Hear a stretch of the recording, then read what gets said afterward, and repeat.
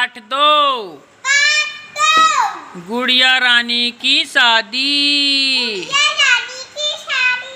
चल मैं पढ़ा बेटा, चुपचाप रहे चंपा और मंजू दो लड़की थी। दोनों में गहरी मित्रता थी। चंपा के पास एक गुड़िया थी।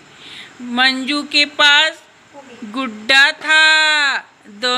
में दोनों रोज शाम को गार्डन में खेलती थी। उन्हीं के घर भी पास पास थे।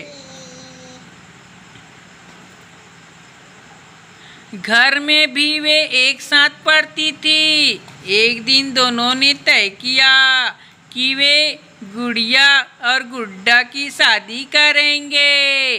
अगले दिन से ही वे शादी की तैयारी में जुट गई।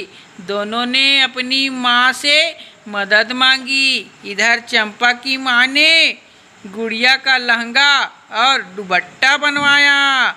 उधर मंजू की माँ ने गुड्डा का कुर्ता और टोपी तैयार की। सब मित्रों को शादी का निमंत्रण कार्ड भेज गया, भेजा गया। शादी के दिन सूरज की माँ ने फूलों की तो हार बना दी।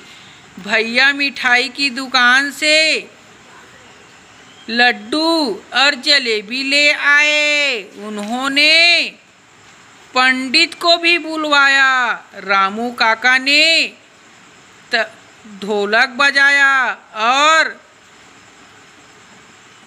लड़कियों ने बधाई गाई। इस तरह गुड़िया और गुड्डा की शादी हो गई। ठीक है बेटा? समझ आई? हाँ।